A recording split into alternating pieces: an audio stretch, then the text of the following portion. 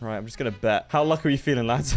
Because if this guy has more shock than two, I'm screwed. But we're going after the white shadow. Off we pop. He's got three. We're dead. Dice rolls. It just comes down to dice rolls. Okay, got a bit lucky there. As you can see, this entire region is about to explode into violence. And I'm very much okay with this. Uh, absolutely, I'll accept that. Why not? Don't know where the Condiotti area is, but they're around. I'm not concerned with money right now. I'm just concerned with, with violence. They sort of expand as quickly as possible. Because if you slow down for a second, someone else will beat you. And that'll happen. Come on, there we go. Lovely. Get the 100%. And we get Centaur Subjugation. What's going to take his money? Nice. So we become a substantial horde, which gives us uh, supply limit modifiers and maintenance modifiers. So we're going to do that. And as you can see here, as we tick down. So if we subjugate 3, 5, 8, and 11, we become colossal. That's where we want to be. So snowballing, a big thing here. And this guy's now loyal and he'll fight for us because there's uh, the subjugating horde has minus 70%. So again, it's it's it's going to be pretty insane. All right, Centaur subjugation on the next guy. Let's head in. I'm also going to split off some of our men and have him be the siege guy because that is also going to be very useful.